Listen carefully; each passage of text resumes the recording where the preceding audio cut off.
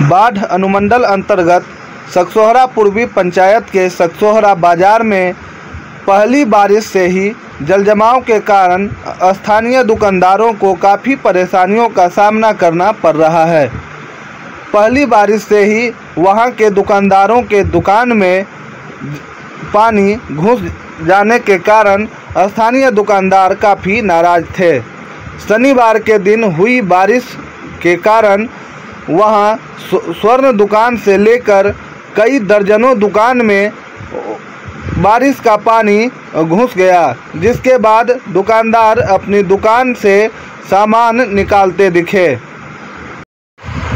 महीने भर से यह जलजमाव की समस्या बनी है, लेकिन इस पर ब्लॉक के किसी भी अधिकारी की नज़र नहीं पड़ी है।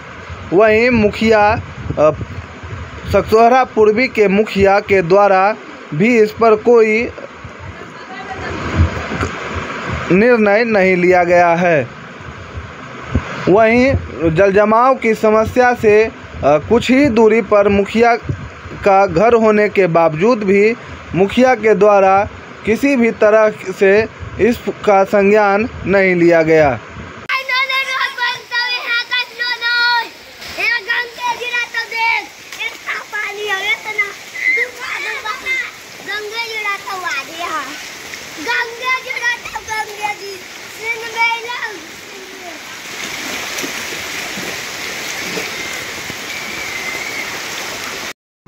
वहीं आप देख रहे हैं, इस बारिश के पानी में कई बच्चे स्नान कर रहे हैं